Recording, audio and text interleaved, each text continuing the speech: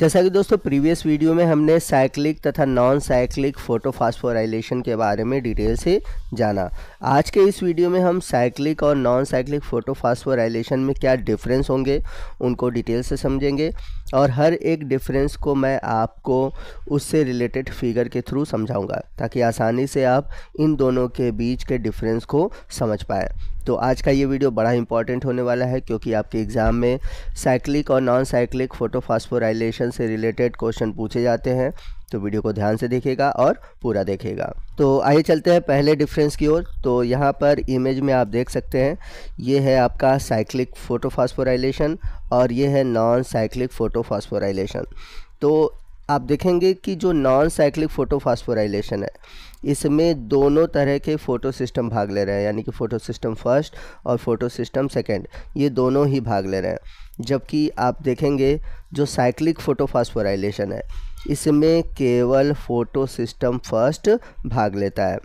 तो इस तरह से आप देख सकते हैं कि जो पहला डिफरेंस है साइक्लिक और नॉन साइक्लिक में लिखा हुआ है it is perform by photosystem first independently यानी कि साइक्लिक में केवल फ़ोटो सिस्टम फ़र्स्ट होता है, जबकि नॉन साइक्लिक में आप देखेंगे लिखा हुआ है it is perform by collaboration of both photosystem first and photosystem second यानी कि जो non cyclic photosystem photophosphorylation है, इसमें फ़ोटो सिस्टम फ़र्स्ट और सेकेंड दोनों ही भाग लेते हैं।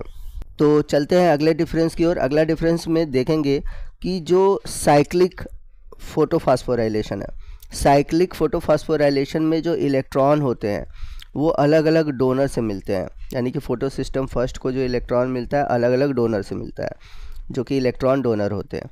जबकि फ़ोटो सिस्टम सेकेंड में आपने देखा था, यानी कि नॉन साइक्लिक में आपने देखा था कि जो फ़ोटो सिस्टम सेकेंड है उसे इलेक्ट्रॉन मिला था वाटर के स्प्लिटिंग से।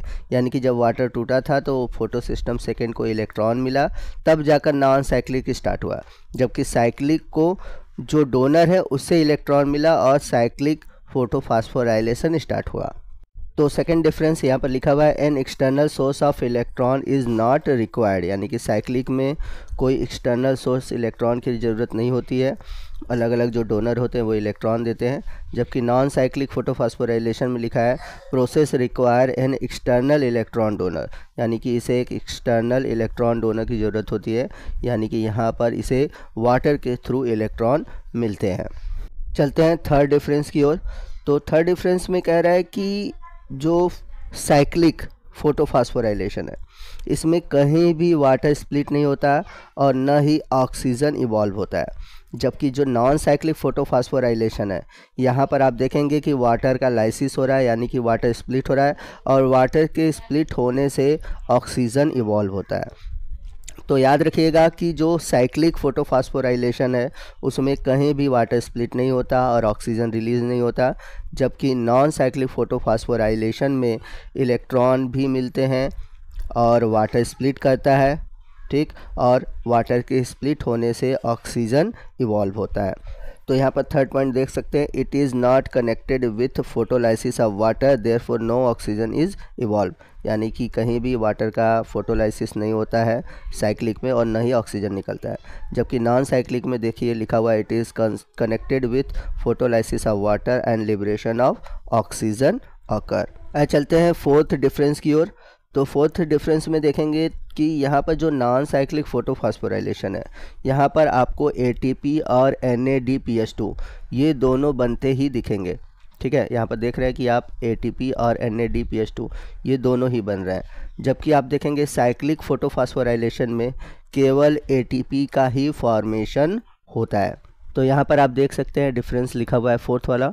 इट सिंथेसाइज एटीपी ओनली यानी कि साइक्लिक में केवल एटीपी का फॉर्मेशन होता है, जबकि नॉन साइक्लिक फोटोफास्फोराइलेशन में लिखा है it is not only connected with ATP synthesis but also with production of NADPH यानी कि इसमें एटीपी के साथ साथ एन का भी प्रोडक्शन होता है। चलते हैं फिफ्थ डिफरेंस की ओर। फिफ्थ डिफरेंस है साइक्लिक में it operates under low light intensity anaerobic condition और when CO2 availability is poor यानी कि जो साइक्लिक फोटोफास्फोराइलेशन है यह लो लाइट इंटेंसिटी में एनएरोबिक कंडीशन में या फिर जब सी ओ टू की जो मात्रा है कम होती है, उस समय भी साइक्लिक फोटोफास्फोराइलेशन होता है। जबकि अगर हम बात करें नॉन साइक्लिक फोटोफास्फोराइलेशन की कि ये जब तक ऑप्टिमम लाइट नहीं मिले, यानी कि अनुकूल लाइट न मिले और एरोबिक कंडीशन न हो और कार्बन डाइऑक्साइड प्रेजेंस ना हो। तो इन सब के होने पर ही नॉन साइक्लिक फोटोफास्फोराइलेशन होता है। नहीं तो नॉन साइक्लिक फोटोफास्फोराइलेशन नहीं होता। तो नॉन साइक्लिक फोटोफास्फोराइलेशन के लिए ऑप्टिमम कंडीशन चाहिए होता है। जबकि साइक्लिक फोटोफास्फोराइलेशन के लिए ऐसा कुछ नहीं है। ये लो लाइट इंटेंसिटी कम सी और एनएरोबिक कंडीशन इन सभी में हो सकता है। चलते हैं अगले डिफरेंस की ओर। डिफरेंस नंबर सिक्स है।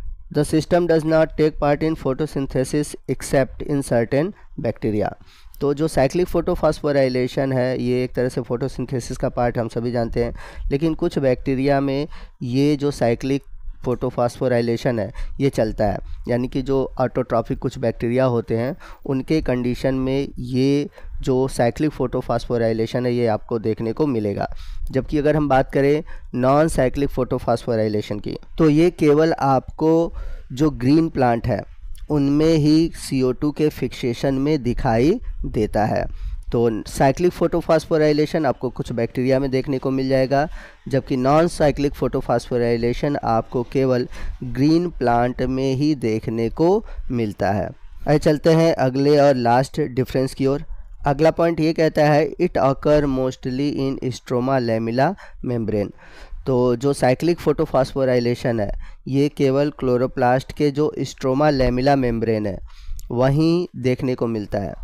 जबकि अगर हम बात करें नॉन साइक्लिक फोटोफॉस्फोराइलेशन की, ये ग्रेनल थैलाकॉइड्स में होता है।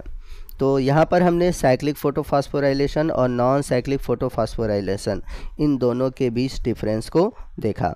आई होप आपको इन दोनों के बीच क्या डिफरेंस है, अच्छे से समझ में आ गया होगा। अगर फिर भी कोई डाउट है तो आप हमसे कमेंट करके पूछ सकते हैं। तो आपको आज का ये वीडियो कैसा लगा कमेंट करके ज़रूर बताइएगा। वीडियो अच्छा लगा हो तो वीडियो को लाइक और शेयर करना मत भूलिएगा। और जिन स्टूडेंट ने हमारा नाइन्टी नाइन रुपीज़ का सब्सक्रिप्शन नहीं लिया हुआ है, वो जल्द से जल्द नाइन्टी नाइन रुपीज़ का सब्सक्रिप्शन ले लें, क्योंकि जल्द ही जो फोर नाइन्टी नाइन का प्लान था वो चेंज होने वाला है। अब, ये जो प्लान चेंज होकर फिर महँगे हो जाएँगे तो एक्चुअल प्राइस जो 499 है, वो हो जाएगी। तो आप जल्द से जल्द जिन लोगों ने 99 का प्लान नहीं लिया हुआ है, उनको बता दें। तो जल्द ही इसके जो एक्चुअल रेट है, उस पर ये आपको प्लान मिलेगा। तो जैसा कि मैंने बताया था, इसमें आपको वीडियो से रिलेटेड, यानी कि आपके सिलेबस से रिलेटेड वीडियो, पीडीएफ और जो सॉल्व पेपर है, ये सभी चीज़ें आपको मिलेंगी। तो बहुत सारे बेनिफिट हैं आपको लेने के सिर्फ़ नाइन्टी नाइन रुपीज़ में। तो आज के इस वीडियो में बस इतना ही। मिलते हैं अगले वीडियो में अगले टॉपिक के साथ। तब तक के लिए जय हिंद, जय भारत।